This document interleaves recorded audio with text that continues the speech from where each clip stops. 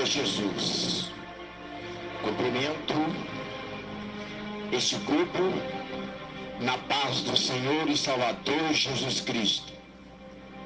Amados irmãos, é com muita alegria que eu venho aqui para dizer a vocês a respeito desse Deus Todo-Poderoso, a qual enviou seu Filho, Jesus Cristo, para nos salvar. Um plano perfeito, um plano aonde não há falha. E é através de Jesus que milhões e milhões e milhões de pessoas alcançou a salvação. Conseguiu escapar do inferno. Estou falando de pessoas que já partiram para a glória em todo tempo. Pessoas de toda idade, pessoas de todas as classes ricos e pobres. Entregaram sua vida para Jesus. E quando entregou, teve-se um Salvador para a sua alma. Feliz é o homem e a mulher que consegue entender esse plano perfeito. Feliz é aquele que entregou a sua vida pecadora, a sua vida perdida para aquele que é Salvador.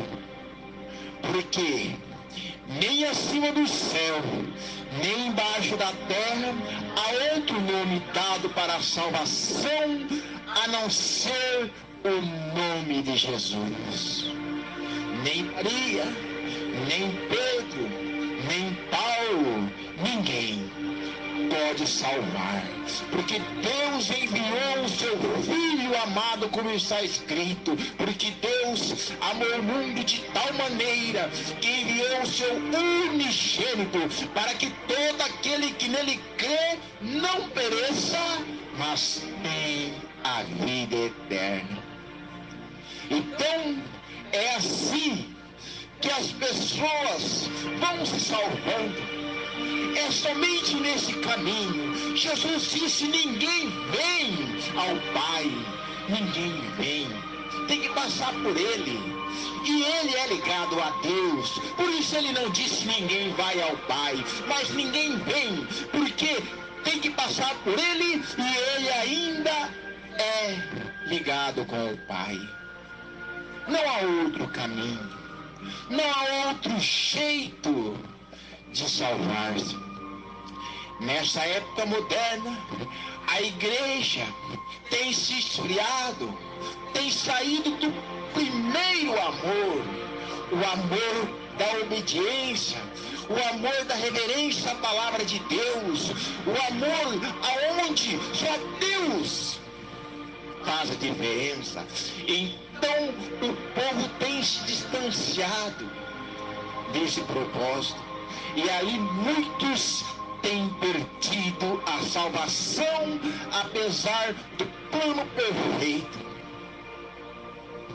Mas graças a Deus, por aqueles que têm permanecido na fé, por aquele que tem buscado refúgio, por aquele que tem buscado purificação, no nome de Jesus.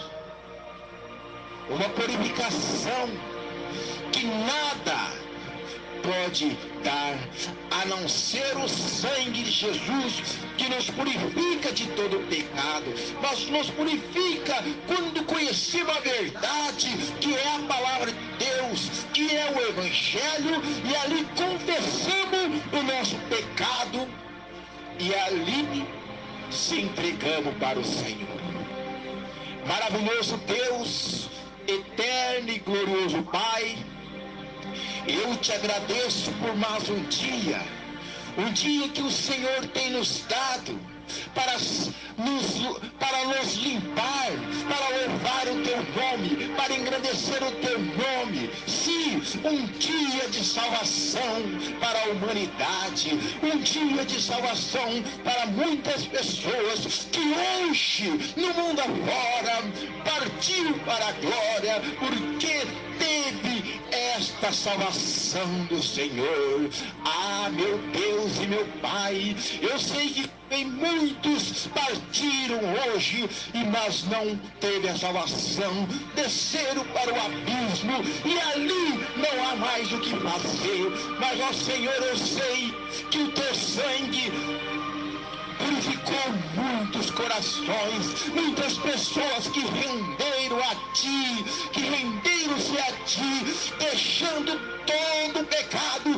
deixando toda malícia, deixando todo engano. E voltou o coração inteiramente para ti.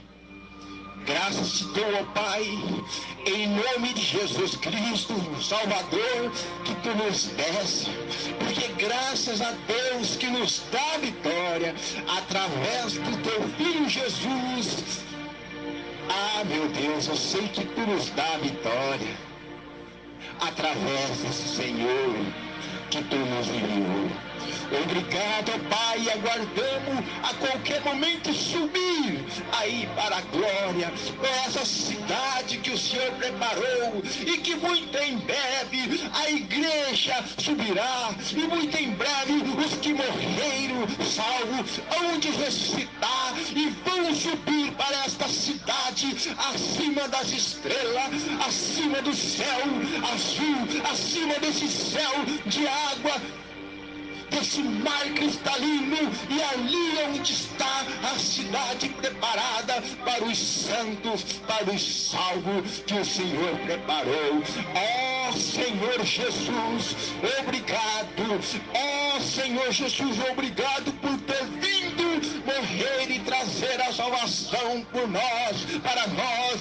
Ó oh, meu Deus, obrigado por não desistir de nós, mas buscar salvar-nos. Ah, grande é o seu amor, ó meu Deus. Em nome de Jesus, eu te agradeço. Amém e amém.